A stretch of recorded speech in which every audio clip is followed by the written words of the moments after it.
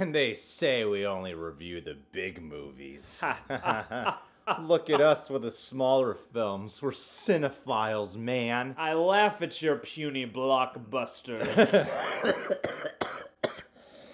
that, like that irony? This is this. Is this, this is what people do in movies and shows when they're on the way to have a heart attack later in the film. Oh yeah. as long as we you do that like a few more Yeah. times during this review, you know, like by the end when you're in the hospital, like it's all gonna make sense. All right, guys. Well, we're here today to talk about a movie called Mandy.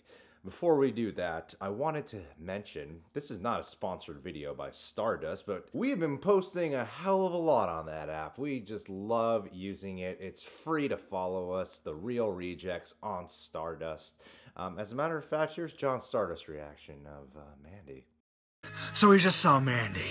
That's pretty fucking insane. Okay, Nicolas Cage is incredible. Panos Cosmatos, amazing director. It's nowhere near as fast paced as the trailer would have you believe, but it's every bit as fucked up and weird.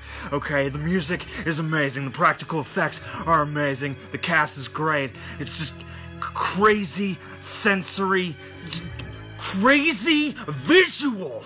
Yeah, so we post a lot on there. We even do like little random 30 second sketches every once in a while that are total blast to do.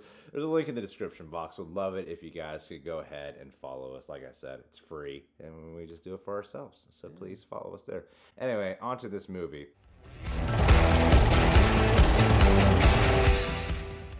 If you guys have seen the trailer for Mandy, highly recommend it. Perfectly resembles the film in every capacity. um, In a weird way it does. no, it's not misleading. We might have said it in our reaction that it's probably a lot slower than what's being led on in the film. That's the main thing is you watch the trailer and it's not deceptive about what the movie's actually about, but it may lead you to believe that this is going to be a fast-paced experience. But it's not misleading at all in terms of its visual style. I did not see what's it, Panos Cos- Cosmatos? Panos Cosmatos, son Yeah. of uh, George P. Cosmatos, who did like Tombstone and stuff. Yeah. Oh, well, you could totally see that. Oh, yeah, when yeah. Russell shows up. I did not see Beyond the Black Rainbow, which I know you're a fan of. Yeah. And this movie, it's a very artistic revenge horror action thriller. There's a lot of inspirations. We heard a Q&A that was hosted by Kevin Smith, which was a hilarious Q&A. Super awesome. yeah. Uh, Nick Cage, Linus Roache, and the director Panos was there, and uh, it was a, it was a very insightful Q and A. Actually, hearing it made the vision for the movie even kind of clearer in my Oh, head. Yeah, that's the thing is when he described the method of filmmaking he uses and also just what his approach to the movie was, I was like, yeah, Yeah. you, you totally translated that. Because at the end of the day, this movie is a revenge movie, just with a very specific type of personal blend and style Yeah, to it. and he way- calls it a revenge movie, the director himself. Because I'm like, do you call this just that? but it is. In a way, because like if you look at just the simple action of the story, yeah, it's a revenge movie. And then if you look a little deeper, like at the themes and stuff, if you want to go Yeah. there, there's a lot more going on than your typical revenge movie, and it's a lot more sort of abstract, perhaps, than your typical revenge movie. Yeah, there's a lot of uh, specific types of dreamlike sequences and scenes of visions and whatever, and there's even some stuff that cuts to animation that's very brief in the film. Yeah. But it, it's definitely spread out throughout the movie. I don't always understand what it is. I can't go, you know what this is definitely about. Yeah. I get the sense that a lot of it is open to interpretation. So while it has this plot line of, and we haven't covered the plot, Nicolas Cage is a lumberjack kind of gentleman who lives out in the woods with his wife, uh, Mandy, who is played by. Andrea Riseborough. They're a couple who's very much in love with each other, and it's not like Hollywood hammed up that's setting it up for things to go terrible. Ain't for nothing them. bad Yeah. gonna happen today. They seem like a real husband and wife that really loves each other, and I think they have great chemistry, and it's beautifully told. And you got to kind of set that up. Yeah, you spend a little time just You in spend their a relationship. lot of time. a decent Yeah. amount. Yeah, this is a movie that takes its Yeah. time every step of the way. Because you can kind of dissect what the movie's about from the trailer Yeah. of this husband and wife, and then there's these cult like people. You're not exactly sure who they are. Are they Satanists? Nicolas Cage calls them Jesus freaks in the movie. Crazy evil. yeah, they're just these insane cultists, and uh, Manson-esque. yeah, they take place in the 80s, and uh, you know, one night the cult leader, played by Linus Roache, He catches sight of Mandy basically and then fixates on her. They're just Yeah. driving past, and then he's like, I gotta have her. And he instructs his uh, disciples essentially to bring her to me. And then after that night, everything's changed. And you see, what's interesting to me about this movie specifically, if we're to talk about plot beyond the style, is normally all that is covered in the first 25 minutes of a typical movie. Yeah. That's Act One. What we describe for you, and, and I don't mind going into it because the trailer covers it for what you have to get into for the crazy Nick Cage stuff. Yeah. That's like the first half of this movie. that, Yeah. that- this movie's not really about the plot, but more about its execution and its style and its themes. And what I thought was really interesting was, whoa, we we haven't even gotten into what the trailer pitched us as the plot yet. Yeah. and we're about an hour into this film. That's you know? about the one thing I can imagine maybe affecting the audience score on this is like the movie I think a lot of people might be expecting happens later into the film Yeah. than you would necessarily think. This reminded me more of a 70s movie in the way the plot is structured because you do spend a good half of the movie building up the situation so that when the revenge can go off, it can go off. Yeah. You know, and And when it does happen, when when Nick Cage is about to, you know, turn. And by the way, Nick Cage is that crazy actor who does a lot of like really bad movies, and then in the middle he'll come out with something like Bad Lieutenant or Joe, or in this movie where he's just amazing. He's, great. amazing. yeah. And and and uh, in a way, you kind of need somebody with his specific blend of kind of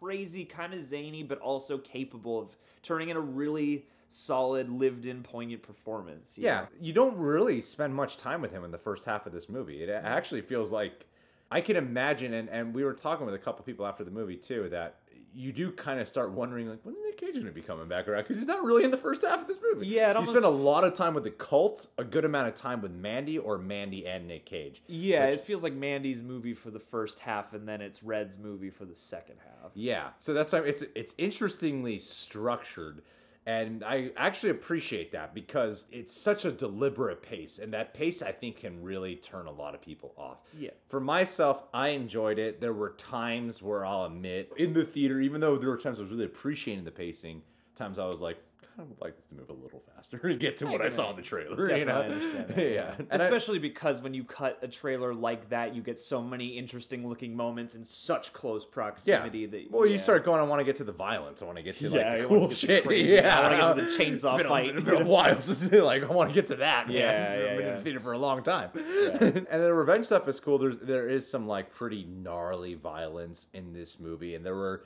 definite violent moments that garnered a genuine applause from the audience. Like Yeah. some great, great moments. both cathartic applause and also just things that looked really badass. There's some really Yeah. great practical effects that they utilize for different gore gags and stuff that are really striking and also going back to older techniques that are kind of cool to see again.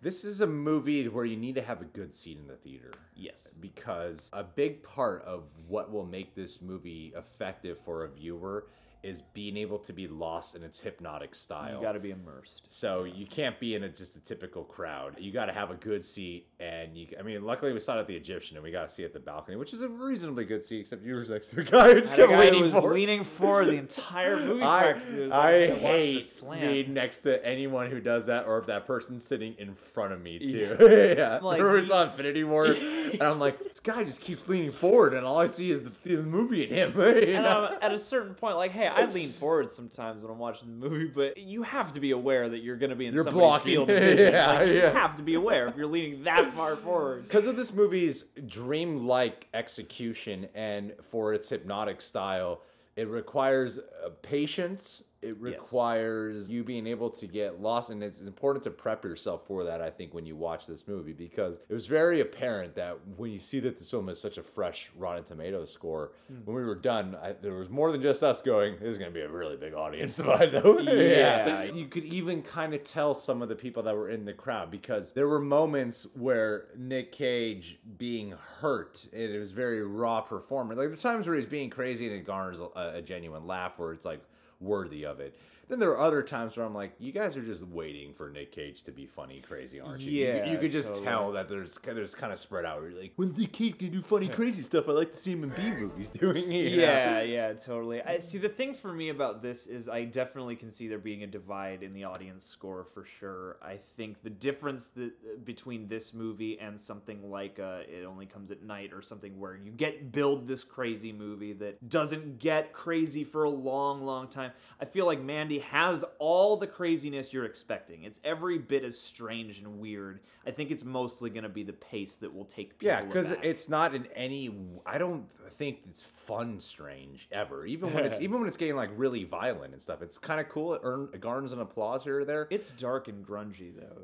It is. Yeah. The movie even teeters on the point where when it's getting into revenge territory, where you're like, oh, we're about to switch up the pacing. We're about to go like hardcore fast, aren't we? No. You, and it kind of starts playing like that, but then eventually slows down that, moments, that ride. yeah. moments pick up energy, but the film's uh, overall pace doesn't change No, that no. much. But I mean, if you can appreciate that, I mean, there's some amazing music that goes along that complements it. Uh, and Johan Johansson. yeah, and that's his last score. it's beautiful too. music. Rest in peace. Yeah, I mean, if you ever saw Black Rainbow, that had a very distinct score.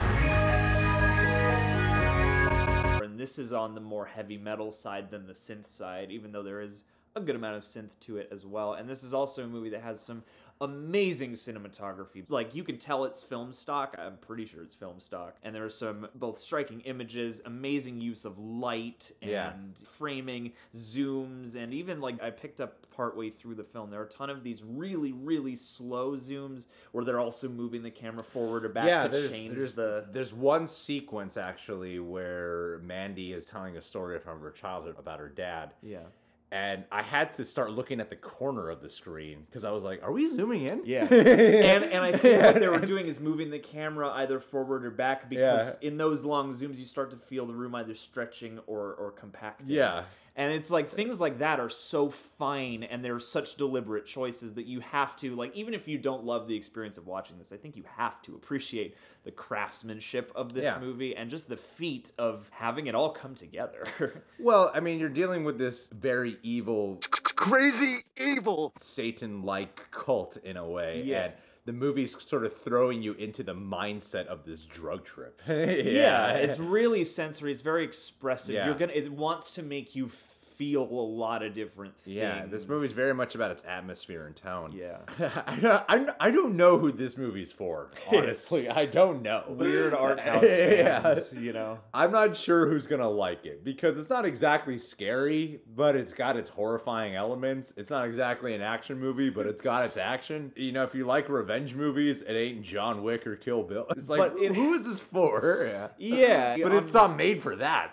I- it's not made for a demographic. It's a very you can still feel it's a very personal film. Yeah, for sure. It's very expressive. Like it, it is the epitome of like art house exploitation in in a way. Oh, yeah. And I appreciate that a guy like this is able to work now and to make something that kind of defies Yeah, yeah. a, a, a particularly easy to identify audience or genre or whatever. Because Black Rainbow has a lot of those qualities too, where you're like, this is kind of sci-fi, kind of horror, kind of drama, kind of just abstract and strange Hmm. and sensory, and that seems to be the style he works in. But between these two films, like there are a lot of distinctions as well, and uh, I think he makes stuff that's definitely worth checking out. He he reminds me of like a more abstract.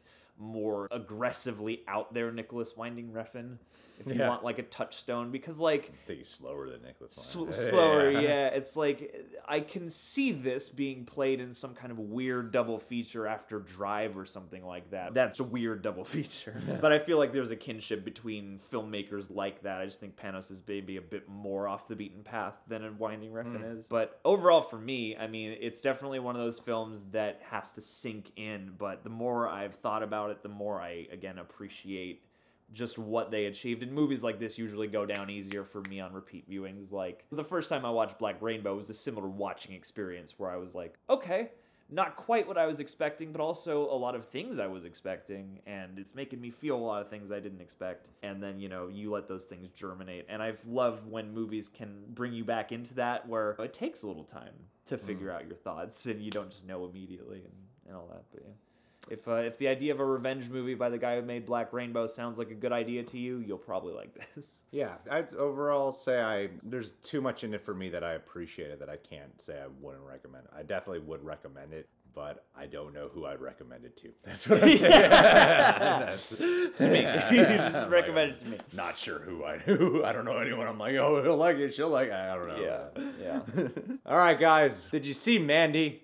What's your opinion on it? What's your favorite crazy Nick Cage performance? Beast!